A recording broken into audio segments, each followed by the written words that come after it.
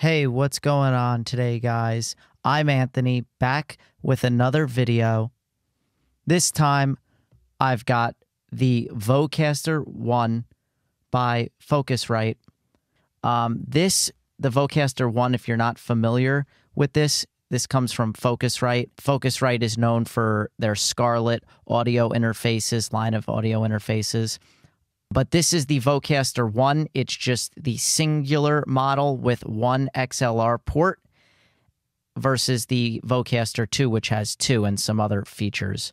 A lot of gain hungry microphones need a FET head or a cloud lifter. This one does not need that. This is plug and play. It has 48 volt phantom power for condenser microphones and it has 70 dB of gain. It has um, enhancements, audio enhancements. It gives you um, auto leveling. So if you hit that button, you just talk for 10 seconds and then it sets your levels, um, which is really, really cool. It doesn't work great from what I've heard, but I, I will test it out and, and, and let you guys know. And there are four enhancement presets. So what that means is you get a radio, a warm, a clean, and a bright preset, which is really cool. There's also a mute button. There's a, a software hub that you can download to, to play around with those presets. I believe this also came out in May of 2022. So I saw a deal. It was about 150 on Amazon. So I was like, oh, let me let me buy this, review it, check it out, because this would be cool to you know maybe leave on my desk or bring it with me um, on trips, throw it in a backpack, etc. And it's great for a sing- single purpose. You know, if you're getting into audiobooks or just voiceover work, it's perfect. So here we go. Let's jump in, open the box, and check out what we've got in here. All right, here we go. We've got the Vocaster 1 interface right here. We'll take this out, put it off to the side. Here's some, uh, you know, instructions, uh, manual, some safety information. No big deal. I don't need any of that stuff. Some of you might want to just check it out. Here's the USB C cable. And that is it, it looks like, because you don't need a power cable. The USB C just plugs into your computer or your iPad or your device, and that gets its power just like such, which is nice as well for portability. Uh, look how tiny this thing is. I mean, I'm shocked it's a little bit bigger than my the palm of my hand. I mean, it's really not that big. Let's rip this bad boy open and show you what we're working with.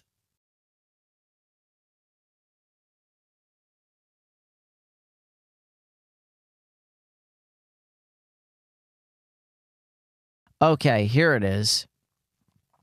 Here's the back of it. Let's pull this tab out. Pull this tab off just quick. I really like the look of this thing, and it's not that heavy. It's pretty light.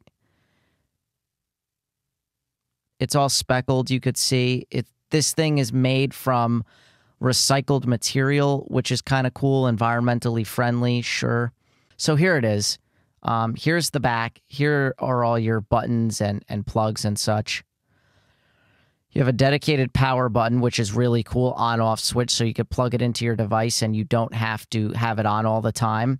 But to have that dedicated power switch is nice, so you don't have to constantly unplug it from your computer. We've actually got a here's the phone output. Again, that would be TRRS.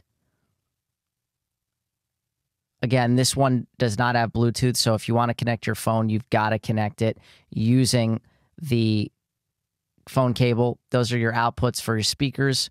There's a dedicated camera input. So if you have like a DSLR, you can plug that straight into your camera and you're just ready to go, which is awesome. I've never seen that on an interface before. The Rodecaster Pro doesn't even have that, which is really neat. Very interesting. I don't have a camera, so I won't be able to test that out per se. And then, of course, you've got your XLR input for your microphone.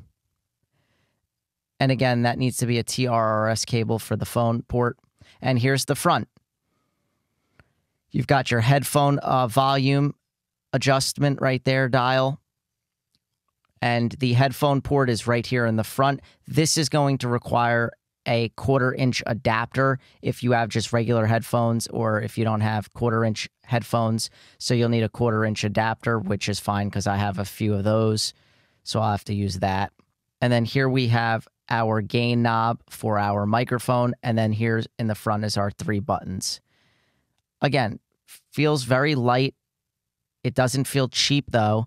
And look at that. It's the size of my hands put together. It's really not that big. So I'm super excited to get this thing plugged in, hooked up to my computer. I have to download the software and I'll play with that. And um, I'll let you guys know what I think. I'll come back as soon as I get this thing plugged in and ready to go, and we'll be off and running with the rest of this review. So I will catch you guys back here in just a second. What's up, guys? We're back. I finally got the Vocaster working with my MacBook Pro. So this is a quick PSA that I wanted to give you guys um, a little a little bit of a lesson on my part. So I used to, or I still do, I have a Focusrite Scarlett Solo third generation. Apparently, because I had the Focusrite Control software on my computer, it was interfering with the uh, Vocaster Hub software. So after emailing back and forth with Focusrite for a better part of a couple of days. I got that squared away. I now have everything working. So, what you're listening to right now is my microphone, and I'm going to list everything in the description. This is my microphone. This is my Rode Procaster XLR cable straight in to the Vocaster hub. I don't have any preamps, cloud lifters, or anything. Normally, when you hear my videos, when I do reviews of products, I'm using this microphone into a cloud lifter or a Fethead type device and then running into the Rodecaster Pro. This is just straight into the Vocaster. It has plenty of gain. I think 70 dB of gain, which is plenty for this gain hungry dynamic microphone. The other thing is um, with this, you're listening to it on one of their four presets. There are four presets. The one that I think sounds the best is the clean uh, enhancement. They're, they're enhancements. So basically, I'm on the clean enhancement right now, and I'm going to give you a rundown of what each of those sounds like. So here's what this sounds like if I turn off the presets and there's no enhancement whatsoever. So now I have turned off the enhancement. This is zero processing. So they have obviously it's built in processing that they adjust and I'll show you what each uh, uh, what the what the software side of it looks like and when you change it the different enhancements what that looks like. You can only change those audio enhancements through the hub. So I'm going to go ahead and turn this back on because I think it sounds a lot better with the audio enhancement on. This is clean. This is the second preset. I think this sounds the best. So what we're going to do is we're going to go through all four of them and you can maybe decide which you like the best. So let's switch back over to the first preset. Now this is the radio preset. So now you're listening to the radio preset and this adjusts a couple of things just ever so slightly compared to the clean enhancement. And again, I'm going to show you on screen what those look like and you'll you'll get an understanding of of all the different tweaks that are being done and, and so on and so forth. So this is the radio enhancement. Let's switch it one more time. Okay. Now we are on the warm enhancement. It's very difficult for me as I'm speaking live right now for me to hear the subtle differences. So it would take me having to go back and listen to hear which ones sound the best and that's why I landed on the clean and I made no other tweaks to this. You know, when you when you select it it it you know, it adjusts certain things like compression and things like that and limiters and I think that the clean sounds the best. So this is the warm and then there's one final one I'll switch to right now.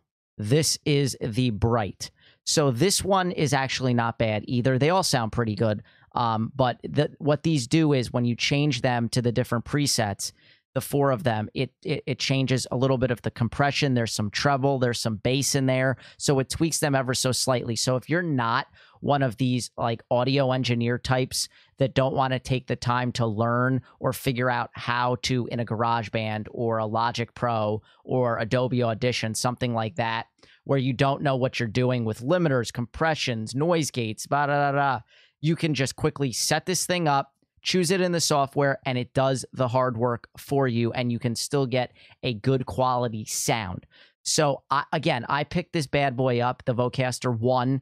Um, the Vocaster 2 comes with two XLR imports, uh, inputs if you're doing, say, a dual uh, a podcast with two people or a podcast with a guest.